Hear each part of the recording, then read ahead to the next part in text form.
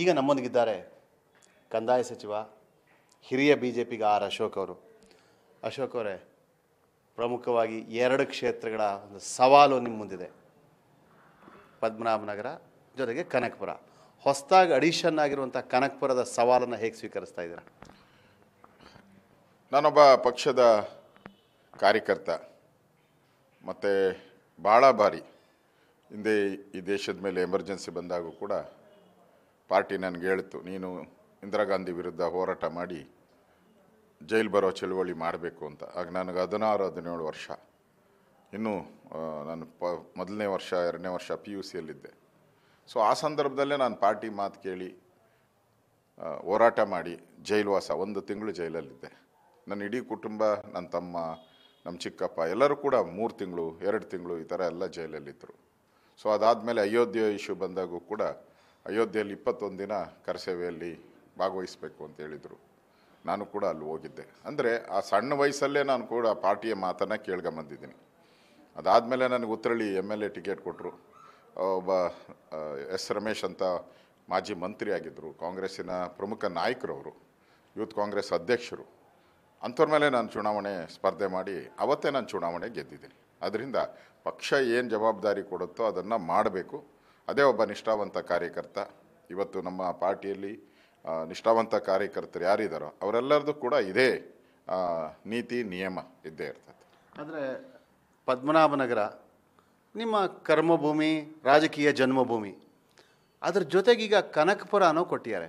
ಈ ಎರಡಲ್ಲಿ ನಿಮ್ಮ ಆಯ್ಕೆ ಯಾವುದಾಗತ್ತೆ? ಎರಡೂ ಎರಡೂ ಗೆಲ್ಬೇಕು ನಾನು. ಈಗ ನಮಗೆ ಅಮಿತ್ ಶಾ ಅವರು ರಾಜಕೀಯ ಚಾಣಕ್ಯ ಅಂತ ನಿಮಗೂ ಗೊತ್ತಿದೆ.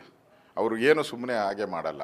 ಏನಾದರೂ ಅವರು ಗಮನದಲ್ಲಿ ಇಟ್ಕೊಂಡೇ ಮಾಡಿರ್ತಾರೆ ನನಗೆ ಮತ್ತು ಸೋಮಣ್ಣ ಅವರಿಗೆ ಟಾಸ್ಕ್ ಕೊಟ್ಟಿದ್ದಾರೆ.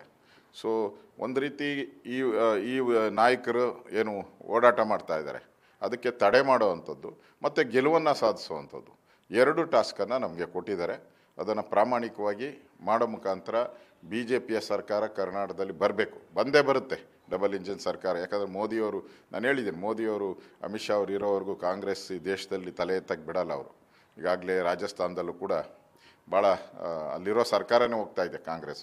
ಇನ್ನು ಕರ್ನಾಟಕದಲ್ಲಂತೂ ಸರ್ಕಾರ ಬರೋದೇ ಇಲ್ಲ. ಅಮಿತ್ ಶಾ ಅವ್ರು ಮೊನ್ನೆ ಹೇಳಿದ್ದಾರೆ, ನಾನು ಕರ್ನಾಟಕಕ್ಕೆ ಬಂದು ಅಲ್ಲೇ ಇರ್ತೀನಿ. ನಾನು ರಿಸಲ್ಟ್ ಬಂದ ಇದು ಚುನಾವಣೆ ಆದಮೇಲೆ ಹೋಗಲ್ಲ. ರಿಸಲ್ಟ್ ಬಂದ ಮೇಲೆ ಇಲ್ಲಿ ಸರ್ಕಾರ ಫಾರ್ಮೇಷನ್ ಮಾಡಿಬಿಟ್ಟೇ ಹೋಗೋದು ಅಂತ ಹೇಳಿದ್ದಾರೆ. ಅಂದರೆ ಅರ್ಥ ಮಾಡಿ ಎಷ್ಟು ಕಾನ್ಫಿಡೆನ್ಸ್ ಇದೆ ಬಿ ಜೆ ಪಿ ನಾಯಕರಿಗೆ ಅಂತ. ಈಗ ಒಂದು ವೇಳೆ ನೀವು ಕನಕಪುರ ಪದ್ಮನಾಭನಗರ ಎರಡಲ್ಲೂ ಗೆದ್ರಿ ಅಂತ ಇಟ್ಕೊಳ್ಳೋಣ. ಯಾವುದನ್ನು ಉಳಿಸ್ಕೊಳ್ತೀರಾ? ನೋಡೋಣ ಪಾರ್ಟಿ ತೀರ್ಮಾನ ಮಾಡಬೇಕು. ಪಾರ್ಟಿ ತೀರ್ಮಾನ ಮಾಡ್ತದೆ. ಅದಕ್ಕೆ ಭಾಳ ಸಮಯ ಇದೆ. ಪಾರ್ಟಿ ತೀರ್ಮಾನ ಮಾಡುತ್ತೆ. ಪಾರ್ಟಿಯ ಆದೇಶ ಏನಿದೆ ಅದನ್ನು ನಾನು ಪಾಲನೆ ಮಾಡ್ತೀನಿ ಅಷ್ಟೇ.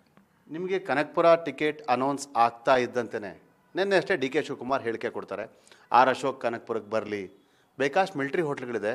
ಮಾಂಸದೂಟ ಮಾಡ್ಕೊಂಡು ಹೋಗ್ಲಿ ಅಂತ. ಇದನ್ನು ಹೇಗೆ ಸ್ವೀಕರಿಸ್ತೀರಾ? ಅವ್ರಿಗೆ ಪಾಪ ಮಾಂಸದ ಬಗ್ಗೆ ಬಹಳ ಪ್ರೀತಿ ಇರಬೇಕು. ಅದಕ್ಕೆ ಹೇಳ್ತಾರೆ. ನಾನು ಚುನಾವಣೆ ಬಂದಾಗ ನಾನು ನಾನ್ ವೆಜ್ ತಿನ್ನಲ್ಲ ವೆಜಿಟೇರಿಯನ್ ನಾನು. ಚುನಾವಣೆ ನಾಮಿನೇಷನ್ ಆದ ತಕ್ಷಣವೇ ನನ್ನ ವೆಜಿಟೇರಿಯನ್ ಸ್ವಾಗತ ಕೊಟ್ಟಿದ್ದಾರೆ. ಯುದ್ಧ ರಂಗದಲ್ಲಿ ಎಲ್ಲರೂ ಕೂಡ ಸ್ವಾಗತ ಕೊಟ್ಟೇ ಕೊಡ್ತಾರೆ. ಯುದ್ಧಕ್ಕೆ ಹೋಗಬೇಕಾದ್ರೆ ಎದುರಾಳಿಗಳು ಸ್ವಾಗತ ಕೊಡ್ತಾ ಇದ್ದಾರೆ. ಒಳ್ಳೆಯದು ಆ ಸ್ವಾಗತವನ್ನು ತೆಗೆದುಕೊಂಡಿದ್ದೀನಿ ನಾನು, ಸ್ವಾಗತ. ಅಲ್ಲಿನ ಜನ ನನ್ನನ್ನು ಸ್ವಾಗತ ಮಾಡ್ತಾರೆ. ಅಲ್ಲಿನ ಜನ ನನ್ನನ್ನು ಆಯ್ಕೆ ಮಾಡ್ತಾರೆ. ಅಲ್ಲಿನ ಜನ ನನ್ನನ್ನು ಪ್ರೀತಿಯಿಂದ ಕಾಣ್ತಾರೆ. ಅನ್ನೋ ವಿಶ್ವಾಸದೊಂದಿಗೆ ಹೋಗ್ತೀನಿ. ಡಿ. ಕೆ. ಶಿವಕುಮಾರ್ ಅವರು ಅವರ ಸ್ಟೈಲಲ್ಲಿ ಹೇಳಿದ್ದಾರೆ. ಆದರೆ ಅಲ್ಲಿನ ಜನದ ನಾಡಿಮಿಡಿತ ನರೇಂದ್ರ ಮೋದಿಯವರ ಸರ್ಕಾರ ದೇಶದಲ್ಲಿ ಬರಬೇಕು, ರಾಜ್ಯದಲ್ಲಿ ಬರಬೇಕು, ಕನಕ್ಪುರದಲ್ಲೂ ನರೇಂದ್ರ ಮೋದಿಯವರ ಸರ್ಕಾರ ಬರಬೇಕು ಅಂತ ಅಲ್ಲಿ ಜನರ ಬೈಕೆ. ನಾಡಿಮಿಡಿತ ನಾಡಿ ಮಿಡಿತ ಅದು. ಅದರಿಂದ ಅಲ್ಲಿ ಡಿ. ಕೆ. ಶಿವಕುಮಾರ್ ಅವರ ಆಡಳಿತ ಬೇಕಾ? ನರೇಂದ್ರ ಮೋದಿಯವರ ಆಡಳಿತ ಬೇಕಾ? ಅಷ್ಟೇ ಪ್ರಶ್ನೆ. ನಾನು ಒಬ್ಬ ನರೇಂದ್ರ ಮೋದಿಯ ಒಬ್ಬ ದೂತನಾಗಿ ನಾನು ನಾನು ಕನಕ್ಪುರಕ್ಕೆ ಹೋಗ್ತಾ ಇದ್ದೀನಿ. ನರೇಂದ್ರ ಮೋದಿಯ ಸಂದೇಶಗಳನ್ನು ತೆಗೆದುಕೊಂಡು ಹೋಗ್ತಾ ಇದ್ದೀನಿ. ಜನ ಆಯ್ಕೆ ಮಾಡ್ತಾರೆ. ನರೇಂದ್ರ ಮೋದಿ ದೇಶಕ್ಕೆ ಒಳ್ಳೇದು ಮಾಡಿದರೆ ಕನಕ್ಪುರ ಜನ ನನ್ನನ್ನು ಕೈ ಹಿಡಿತಾರೆ. ಕನಕ್ಪುರ ಜನ ನನ್ನ ಆಶೀರ್ವಾದ ಮಾಡ್ತಾರೆ. ಹಳೆ ಮೈಸೂರು ಭಾಗದಲ್ಲಿ ಬಿ ಜೆ ಪಿನ ಬಲಿಷ ಬಲಿಷ್ಠ ಮಾಡಬೇಕು, ಹೆಚ್ಚು ಆದ್ಯತೆ ಕೊಡಬೇಕು ಅನ್ನೋದು ಬಿ ಜೆ ಪಿ ವರಿಷ್ಠರ ಆದ್ಯತೆ. ಹಾಗಾಗಿ ಹಳೆ ಮೈಸೂರಿನ ಒಕ್ಕಲಿಗ ಮತದಾರರನ್ನ ಗಮನದಲ್ಲಿಟ್ಕೊಂಡು ಆರ್ ಅಶೋಕ್ ಅವರಿಗೆ ಈ ಟಾಸ್ಕ್ನ ಕೊಡಲಾಗಿದೆ. ಈಗ ಒಕ್ಕಲಿಗ ನಾಯಕರಾಗಿ ಅಶೋಕ್ ಅವರು ಕನಕಪುರದಲ್ಲಿ ಇಷ್ಟರ ಮಟ್ಟಿಗೆ ಪ್ರಭಾವ ಬೀರಬಲ್ಲರು ನಾನೊಬ್ಬ ಒಕ್ಕಲಿಗ, ಸಾಮಾನ್ಯ ಕಾರ್ಯಕರ್ತ ನಾನು, ಒಕ್ಕಲಿಗ ಜನ. ನಾನು ಒಕ್ಕಲಿಗ ಅನ್ನೋದರಲ್ಲಿ ಅದೇನು ತ, ಇದೇನು ತಪ್ಪೇನಿಲ್ಲ. ಆದರೆ ಎಲ್ಲ ಸಮುದಾಯದನೂ ತೊಗೊಂಡು ಹೋಗ್ಬೇಕು ನಾವು. ಒಬ್ಬ ನಾಯಕ ಆಗಬೇಕು ಅಂದರೆ ಒಕ್ಕಲಿಗ ಅನ್ನೋ ಪ್ರಶ್ನೆ ಅಲ್ಲ. ಒಕ್ಕಲಿಗನೂ ನನ್ನ ಜಾತಿನೇ. ನಾನು ಹುಡ್ತಾ ಒಕ್ಕಲಿಗ ಆಗಿ ಹುಟ್ಟಿದ್ದೀನಿ ಆದರೆ ಎಲ್ಲ ಸಮುದಾಯದವರು ಕೂಡ ಅಲ್ಲಿದ್ದಾರೆ. ಎಲ್ಲ ಸಮುದಾಯ ಜನದವರು ಕೂಡ ಅಲ್ಲಿದ್ದಾರೆ. ಅವ್ರ ಮತನೂ ಭಾಳ ಮುಖ್ಯ. ಆ ದೃಷ್ಟಿಯಿಂದ ನಾಯಕ ಅನ್ನೋದಕ್ಕಿಂತನೂ ಕೂಡ ಒಬ್ಬ ಕಾರ್ಯಕರ್ತನಾಗಿ ಅಲ್ಲಿ ಹೋಗ್ತಾ ಇದ್ದೀನಿ.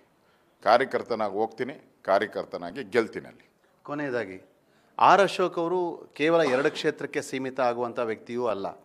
ಅದರ ಜೊತೆಗೆ ಬೆಂಗಳೂರಿನ ಅಷ್ಟೂ ಜವಾಬ್ದಾರಿ ಆರ್ ಅಶೋಕ್ ಅವ್ರ ಮೇಲೆ ವರಿಷ್ಠರು ವಹಿಸಿದ್ದಾರೆ. ಇಂಥ ಸಂದರ್ಭದಲ್ಲಿ ಬೆಂಗಳೂರಿನ ಹಲವು ಕ್ಷೇತ್ರಗಳಲ್ಲಿ ಅಶೋಕ್ ಅವರ ಜೊತೆಗೇ ಇದ್ದಂಥ ಕೆಲವರಿಗೆ ಟಿಕೆಟ್ ಕೈತಪ್ಪಿದೆ. ಅದು ಎನ್ ಆರ್ ರಮೇಶ್ ಇರ್ಬೋದು, ಕಟ್ಟೆ ಸತ್ಯನಾರಾಯಣ ಇರ್ಬೋದು, ಇತ್ಯಾದಿ ಇತ್ಯಾದಿ. ಅವರುಗಳೆಲ್ಲ ಈಗ ಬಂಡಾಯ ಘೋಷಣೆ ಮಾಡ್ತಾ ಇದ್ದಾರೆ.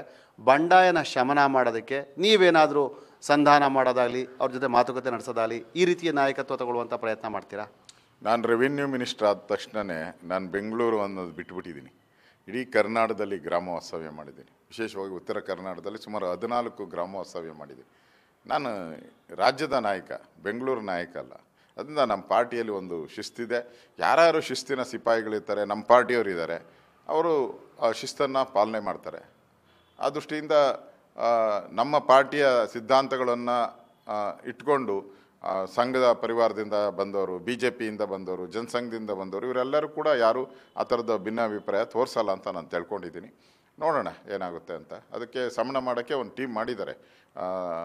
ಅಮಿತ್ ಶಾ ಅವರು ಒಂದು ಟೀಮ್ ಮಾಡಿದ್ದಾರೆ. ಅವ್ರು ಮಾತಾಡ್ತಾರೆ ಅವ್ರ ಜೊತೆ ಥ್ಯಾಂಕ್ ಯು ಒಟ್ಟಾರೆಯಾಗಿ ತಾವು ನರೇಂದ್ರ ಮೋದಿಯವರ ಒಂದು ಸಂದೇಶವನ್ನು ತೆಗೆದುಕೊಂಡು ಕನಕಪುರಕ್ಕೆ ಹೋಗ್ತಾ ಇದ್ದೀವಿ.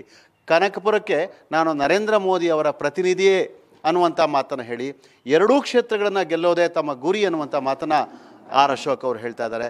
ನೋಡೋಣ ಚುನಾವಣೆಯಲ್ಲಿ ಏನಾಗುತ್ತೋ ಅನ್ನೋದನ್ನು ನಾವು ಕಾದು ನೋಡೋಣ.